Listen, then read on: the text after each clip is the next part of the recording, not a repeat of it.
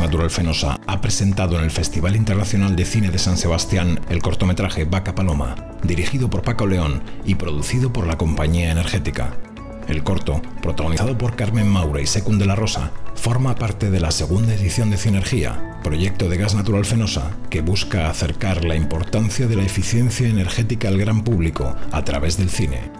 Paco León cuenta en él la surrealista relación entre una madre y su hijo que vive obsesionado con una vaca que es cinéfila y que tiene poderes sobrenaturales.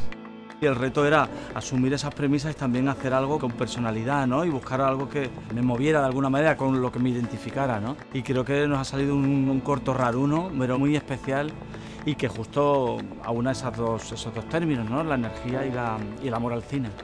El film se puede ver en televisión y en la página web de Cinergía, donde también se puede consultar toda la información del proyecto Cinergía.